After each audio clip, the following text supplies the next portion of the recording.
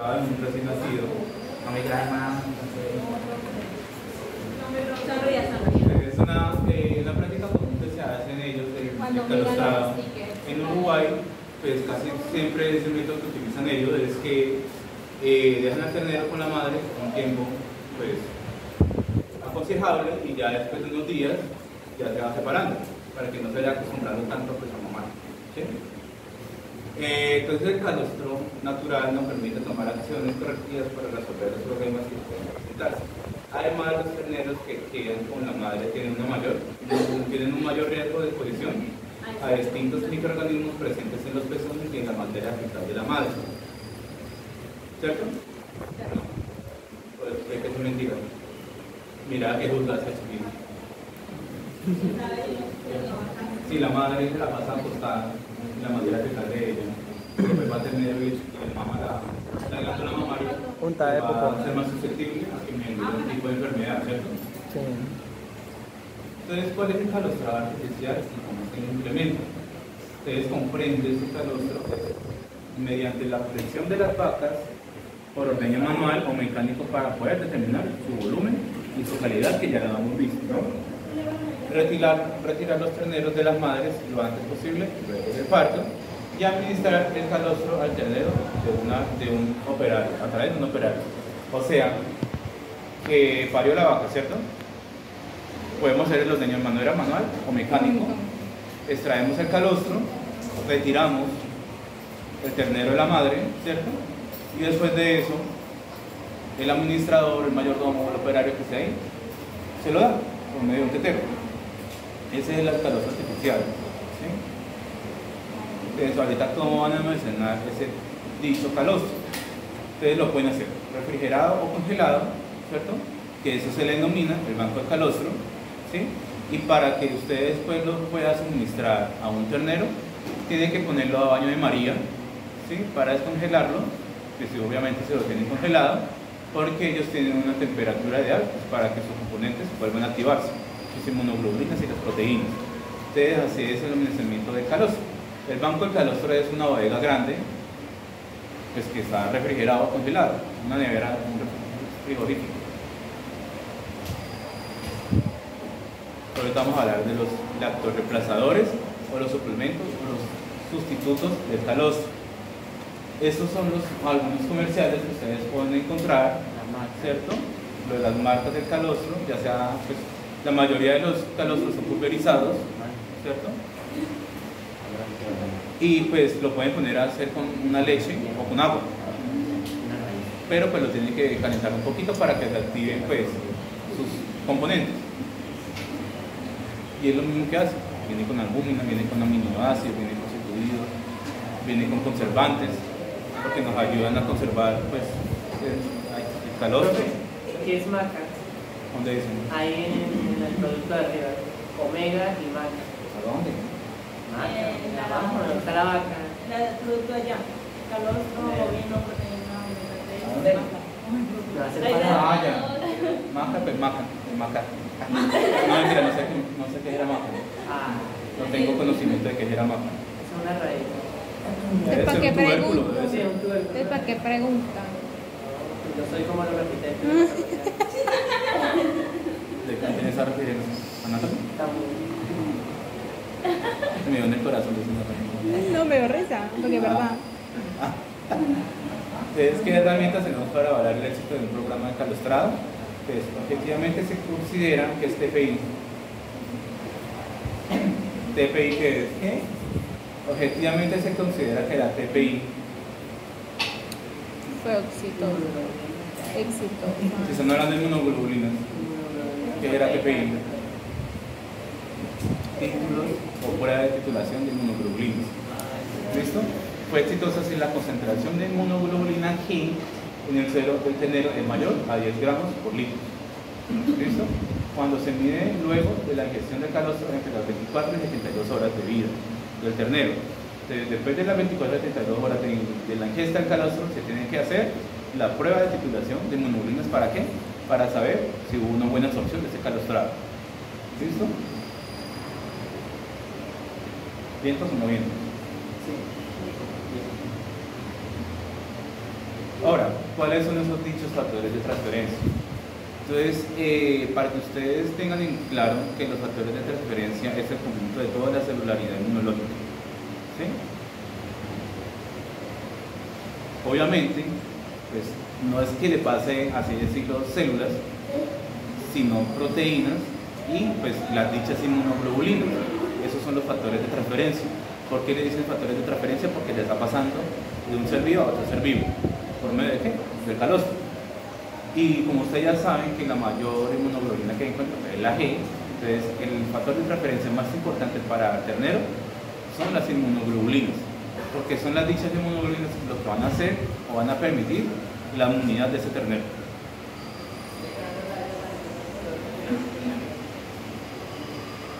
Y pues obviamente si no hay aminoácidos, y que son las inmunoglobulinas, son glucoproteínas, y si no hay metabolismo de aminoácidos, pues son no hay proteínas, bioquímica. Sí. ¿Ya no hay bioquímica acá? Sí.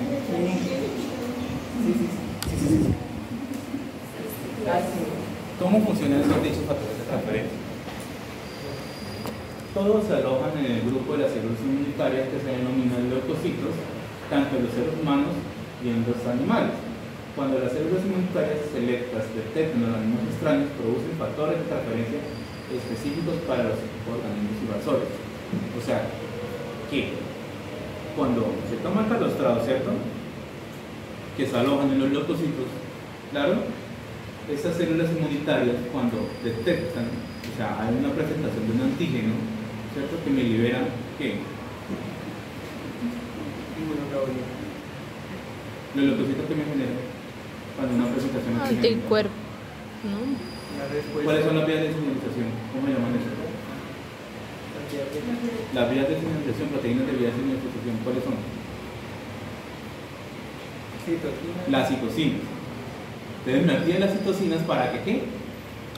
Para que se me activen los factores de transferencia que son producidos por las células plasmáticas y dichas transferencias son las inmunoglobulinas. ¿Para qué? Para llevar mensaje. Para que me ¿Para qué se me generan inmunoglobulinas? Para combatir el Para combatir, neutralizar y generar lisis de los microorganismos patógenos. ¿Listo? Esos son los factores de transferencia. ¿Cuáles son los factores de transferencia? Las inmunoglobulinas, ¿cierto? Y todo el conjunto de celularidad.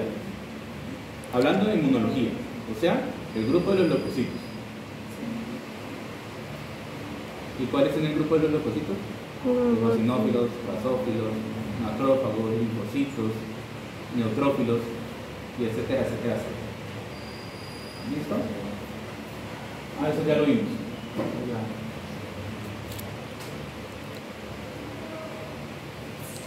Ahora, vamos como ya sabemos que es un calostro, que son los componentes del calostro. ¿Tienen alguna duda antes de comenzar con la mastitis? ¿O todo claro? Hasta ahora. Ya saben la transferencia, la transferencia ¿cierto? De cada uno. Saben cuáles son las células que están presentes. Saben cuáles son las inmunoglobulinas que están presentes en el calostrado. Entonces vamos a pasar con una enfermedad que se le denomina Mastitis. bovinas. ¿A qué me refiero cuando están estas dos imágenes y que diga teología? La gente es una bacteria. Sí, es una bacteria, pero la teología, ¿qué es teología? El comportamiento. Entonces, ¿por qué se ocasionó esa enfermedad? ¿O por qué llegó esa bacteria? Pues obviamente pues a la glándula mamaria, porque es donde se encuentra la mastitis bovina, ¿cierto? Entonces, etiología es la causa de ese agente etiológico en presencia de donde se encuentra, ¿cierto? Entonces, la etiología de la mastitis bovina se conoce 140 especies de bacterias que me producen mastitis. Hay subespecies y cero bares. ¿Se dan cuenta que son los cero bares? ¿Cierto? Y las técnicas microbiológicas han permitido la determinación. Y casi la, la actividad o la técnica mi- microbiológica más efectiva es el cultivo bacteriológico o cultivo de microbiología, que se denomina, que es con una área especial para ellos. Ah, dime, dime. De de... Sí, sino que para realizar la tinción de grano tienes que hacer el cultivo. ¿Listo? Y acuérdense que hay alguna, ¿Ustedes estuvieron en la, en la charla de tuberculosis del doctor Arce? ¿No? Hay algunas bacterias como la, la bacteria de tuberculosis, que es un bacilo, ¿sí? que son alcohol resistentes, que la tinción de grano no la puede tincionar. ¿sí? Entonces hay un tipo de tinción diferente para alcohol resistentes, que se le denomina la de Sil-Nielsen. No sé si la hayan escuchado. Es Sil-Nielsen. Esta tinción me genera que, como son tan pH tanto como neutros, ¿sí? me genere un tipo de tinción. ¿sí? Y así yo puedo diagnosticar la tuberculosis. Y hay algunas bacterias que ahorita vamos a ver que son alcohol resistentes. Entonces, no solo la tinción de grano te puede detectar ese dicho patógeno, ¿sí? sino que para eso existen miles de tinciones. Y para esas miles de tinciones, asimismo, va a generar pues, el resultado.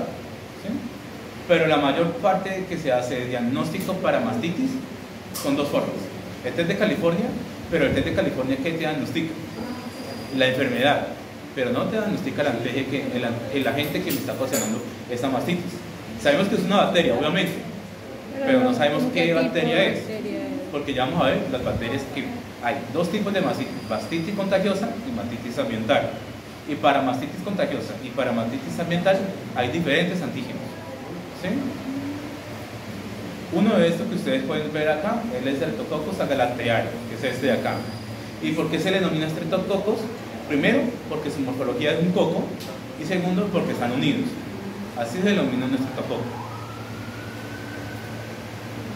¿Y por qué hay un bacilo? Porque esos son bacilos, ¿cierto? Porque son diferentes agentes, tanto como bacterias. Acuérdense que las bacterias tienen un grupo, bacilos, ¿cierto? Espiroquetas y los cocos, ¿sí?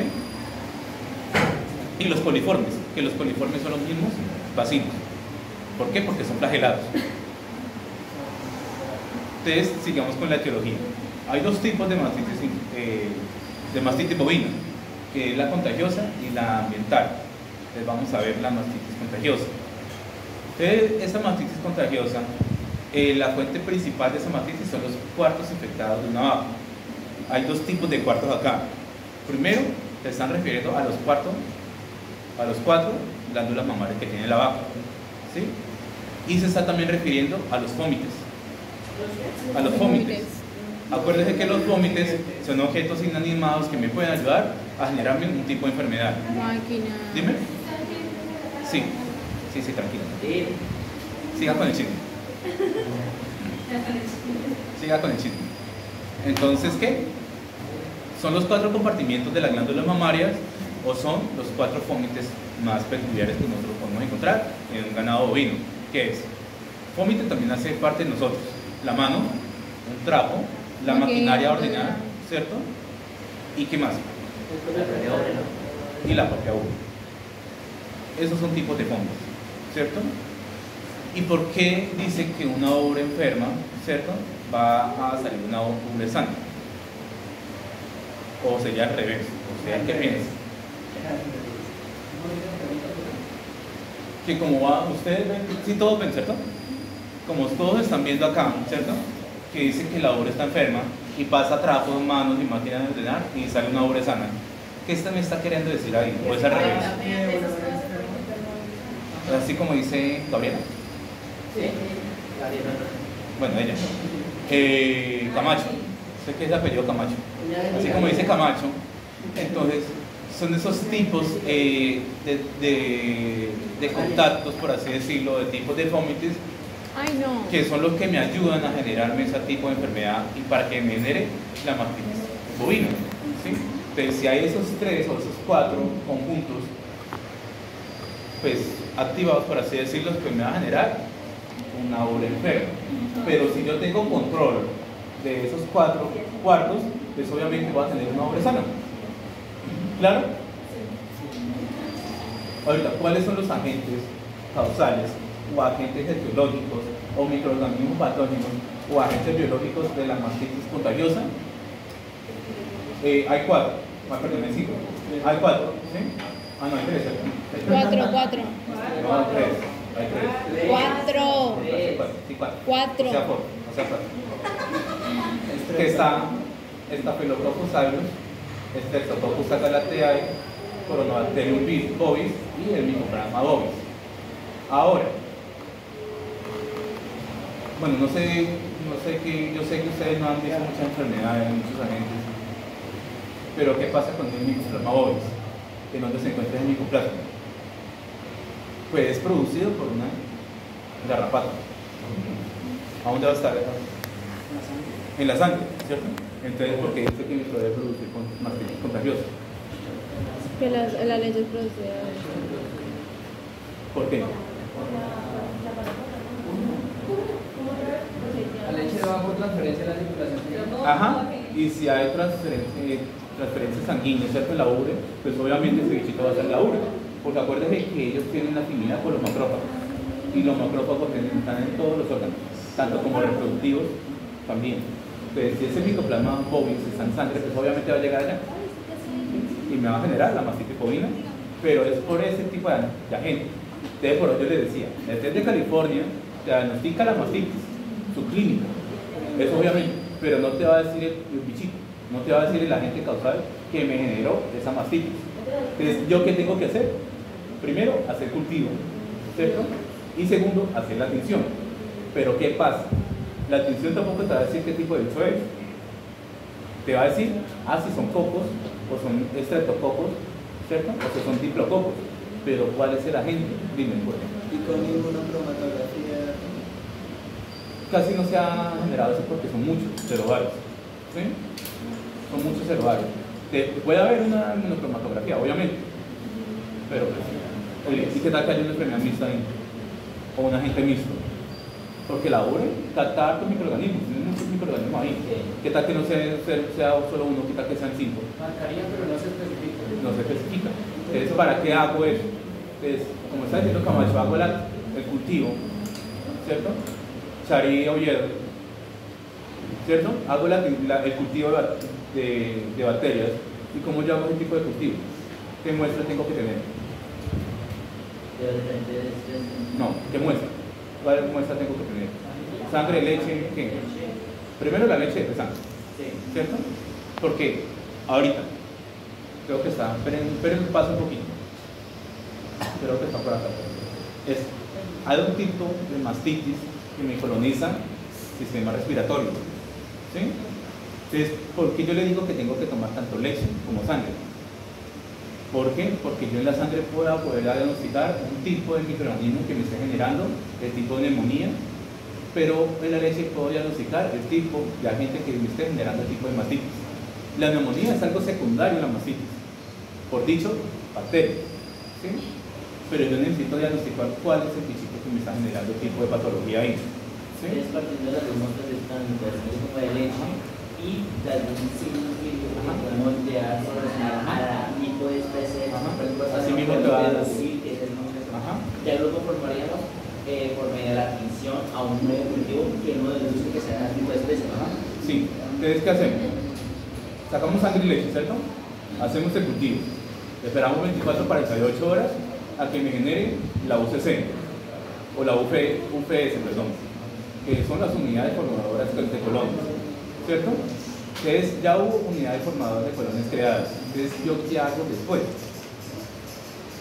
Ahí esta bacteria y lo pongo en otra caja de Petri, hago otra incubación, ¿sí? ¿Por qué yo hago ese tipo de incubación? ¿Por qué? Porque puede haber miles de microorganismos patógenos. ¿sí? Entonces saco ese debido y va generándome así más sensibilidad a qué tipo de patógenos me está generando eso. Entonces yo hice cultivo bacteriano, ¿cierto? Ahorita ya sé, tengo mis sospechas de que sea uno de esos cuatro. ¿sí? Entonces yo hago eso, miro el microscopio y ah, son estreptococos. ¿sí? Entonces yo digo, ah, puede ser este bichito. Espera, espera, pongo el puntador. Entonces puede ser el Streptococcus agalactiae, pero como el Streptococcus tiene diferentes cerovarios, ¿cierto? Entonces lo que hago ahí, ya sé que es un Streptococcus, listo, claro está, pero ¿qué tipo de Streptococcus es? Entonces yo tengo que hacer pruebas bioquímicas. Ya hay unas pruebas bioquímicas que son unas cosas grandes, en cada tiene un tubito con una solución y una enzima diferente. Entonces tú inoculas esa bacteria a eso y de eso te da un color diferente, y te va a indicar qué tipo de microorganismo que se está atacando. Así es como lo diferencia. No es como PCR. No, no porque el PCR tiene que amplificar el ADN, nosotros no, no estamos ampli- amplificando el ADN. Eso es más que todas las proteínas. que las proteínas que generan estos tipos de bacterias.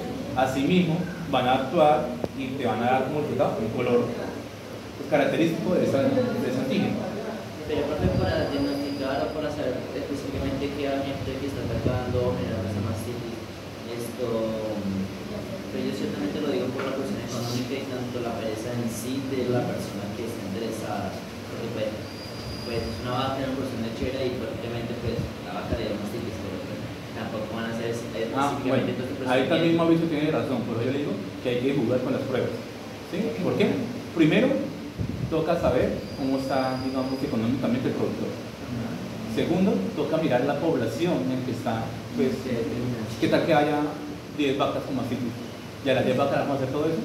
No. A unas sí, a otras no. Entonces, ¿qué hacemos ahí? Tenemos el test de California y sabemos que hay mastitis clínica. ¿sí? ¿Y cómo se erradican las bacterias? Pues con antibióticos. Lo único que hacen es mandarle antibióticos. Exacto, lo que a decir. Prácticamente mandan un, antibiótico eh, generalizado para todo, a ver si mejoría y pues, dado el caso, pues, pues la presencia de la mayor de un tipo de especie, un tipo de bacteria más que de otras. O lo otro que pueden hacer, yo sé que ellos no saben eso, o lo otro que pueden hacer es que hay bacterias que tienen en su composición la enzima catalasa, ¿sí? O la coagulasa que también está acá. ¿sí? Entonces, ¿qué hacen? ¿Cómo se hace la prueba de catalasa? Con peróxido de hidrógeno. ¿Qué es el peróxido de hidrógeno? Agua oxigenada. Entonces pongo una gotica de agua oxigenada y pongo la leche o algo ahí, y si me forma espuma es porque es una bacteria que tenga catalasa. ¿Y cuál es de estas hay? La estreptococo, tiene catalasa. La estafilococo no tiene catalasa. Entonces yo puedo sugerir que por ahí puede ser, pero es que hay tantas bacterias que tienen catalasa también. Entonces hay que hacer o hay que medicar algo que sea contra o un antibiótico beta-lactámico ¿sí? para erradicar eso. Pero lo que más uno com- recomienda, pues obviamente como veterinario, es que hacer pruebas. Pero uno entiende la capacidad económica pues, del productor. Pero uno hay que jugar con las pruebas. ¿sí? Porque un cultivo es bueno y a la vez malo. ¿Por qué?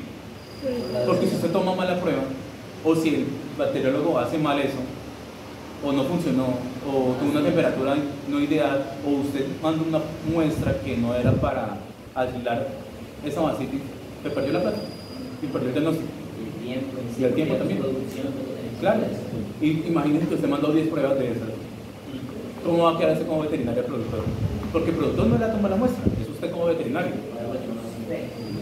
Usted, licha. Entonces vamos a hablar de cada agente y qué es lo que causa el bovino. Entonces vamos a hablar de la Staphylococcus que es principal causa de la infección intramamaria, es la más prevalente, muy difícil de erradicar y causa las pérdidas económicas. Y esa actúa mediante la prueba de coagulasa. ¿sí? Si forma un coágulo, es porque es la Staphylococcus aureus, el agente biológico. Streptococcus agalactiae. Segundo grupo en importancia responsable de la mastitis contagiosa, o sea que esa Streptococcus que es la que genera como tal la mastitis contagiosa. Puede sobrevivir por largos periodos de tiempo en el ambiente y hay otro tipo, otro cerobar de ese Streptococcus que también me genera la mastitis, que es la paracengitis.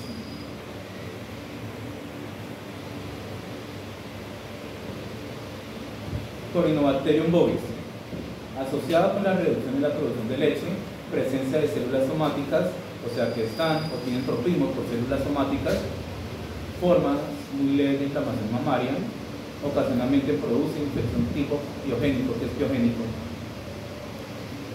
Pio, ¿qué es? Esto, pus. Pus. Entonces son enfermedades o son infecciones que me generan pus. Piogénico es eso. Son aquellas enfermedades que me generan pus. ¿Por causa de qué? De neutrófilos ya dañados. ¿Sí? Porque la pus, ¿qué es? Son neutrófilos ahí muertos. El micoplasma bovis. Como ustedes saben que el micoplasma O está en torrente sanguíneo y tiene tropismo por los macrófagos, o sea que es una enfermedad que puede hacer llegar a ser sistémica. ¿Por qué? Porque los macrófagos están en todos los órganos. Entonces ella puede tener tropismo por cualquier órgano. Puede llegar al corazón, al pulmón, al sistema reproductivo, bueno, a todos, hasta el cerebro. Entonces por eso me genera tanta sintomatología o tantos daños en el animal. Entonces, agalatía, mastitis, artritis y neumonía. Y puede generar ese tipo de micoplasma. Y es generado por un mitoparásito que es la garrapata. Entonces esa mastitis contagiosa, ¿cierto? Predomina la mastitis subclínica. ¿Por qué? Porque yo la diagnostico mediante el de California. ¿Cierto? Entonces el porcentaje supera el objetivo del 15%, casos clínicos principalmente leves. Es como hacer test de California. ¿Cierto? Tiene cuatro cubículos o cuatro circulitos que cada una corresponde a una ubre, ¿cierto? Se pone un poquito de leche entre cada ubre y se pone pues, la atención del test de California. ¿Y cuál es el fundamento de esa test de California? Es lo mismo que la prueba de inmunocromatografía. La reacción antígeno con anticuerpos. ¿sí? Los anticuerpos de la leche, las inmunoglobulinas presentes en la leche, están reaccionando contra el antígeno del test de California. Porque el test de California, ¿qué es? El antígeno de la mastitis. Todos esos bichos. Y si está presente esa inmunoglobulina con ese bicho dentro, pues obviamente me va a hacer esa reacción. ¿Y cómo yo voy a ver que es positivo? Porque me genera grumos. Y esa generación de grumos es la unión del antígeno con el anticuerpo. Por eso me genera grumos. ¿Claro? Entonces aumenta el porcentaje de vacas crónicas, contagio mayor a 200.000 cc por ml en tres controles consecutivos, o sea que me tiene que marcar tres controles consecutivos para decirme que es positiva esa vaca.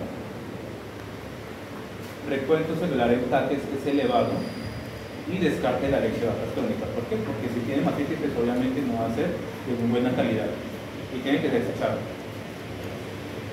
Ahora, la mastitis ambiental. La fuente de infección está en el ambiente de las vacas. No está dentro de la vaca ya, sino donde está viviendo él. En el suelo, en las paredes, tanto en el alimento. ¿sí? Entonces, ¿cuáles son esos tipos de intestinos o cuáles son los agentes especializados que me van a generar este tipo de mastitis? Primero, otro tipo de streptococcus, pero es el cambio el hogar, que ahorita se le va a llamar streptococcus puberis, ¿cierto? O sea, de la ubre, y disgalateae, ¿cierto? Escherichia coli o la E. coli, la Klebsiella nominae, la Enterobacter aerogenes y la Proteus vulgaris. Que esa Proteus vulgaris es un tipo de clostridium. Y acuérdense que el clostridium está en todas partes.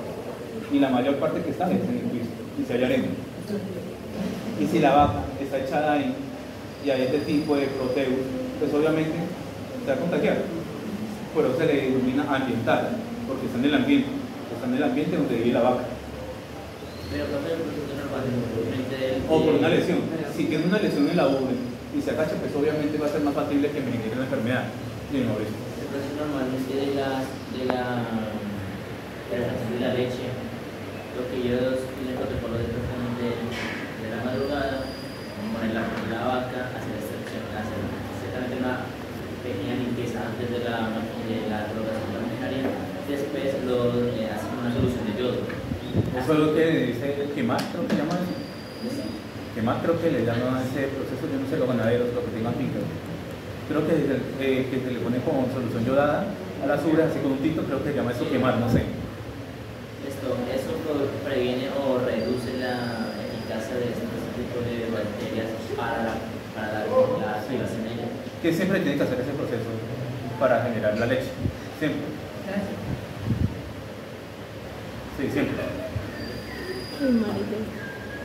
Entonces la Streptococcus uberis, que se le involucran los casos de mastitis clínica y clínica durante el periodo de lactación temprana y el periodo seco de la vaca. Es responsable del 12 al 14% de las mastitis clínicas en vacas lactantes. Ya pasa chiquito, bonito, ¿no? La Streptococcus, la Disgalateae, es muy común en la mastitis clínica, capaz de sobrevivir en la boca y el piel de los animales y eso tiene una clasificación o un tipo de manifestación clínica que genera aftas en la boca. Los coliformes, que son los bacilos, el grupo de bacilos, bacilos es el nombre de la bacteria, pero el grupo se le denomina coliformes. ¿Listo? Que están la E. coli y la Klebsiella, que son más frecuentes eh, aislados de la infección intramamaria, que se encuentra dentro de la glándula mamaria. Y son causales de la mastitis clínica aguda y hiperaguda, son muy severas e incluso formas que pueden generar formas fatales de la uva. Falta una diapositiva. Matitis ambiental. Casos clínicos en el periodo de peri- periparto. Vacas con recuento celular elevado pueden estar en valores óptimos. El recuento celular somático en en tanques no es tan afectado. Entonces, esa matitis ambiental es muy difícil de diagnosticarlo. ¿Por qué? Porque no se sabe dónde está. ¿Sí? Y no va a tener tanta patogenia o no va a tener tanta presentación antigénica. Por eso no hay células somáticas, por eso no hay recuento celular alto y por eso no hay eh, procedentes que a veces pueden generar negativos en las pruebas. Y otros patógenos que podemos encontrar en la eh, tanto como la contagiosa como la ambiental, son estos. Y hasta algas podemos encontrar.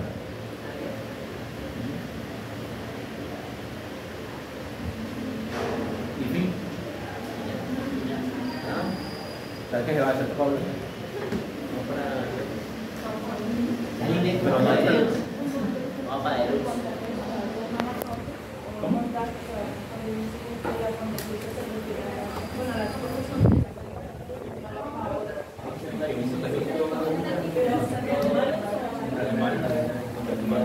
Tanto como en animales, las efectos sobre los muy contagiosos. De una capa que se lo muy alto. Y en ambiental, ahora sería de la de la misma. Ya, por ejemplo, si tengo una lesión o algo, a mí me genera ese tipo de enfermedad. O si esa afección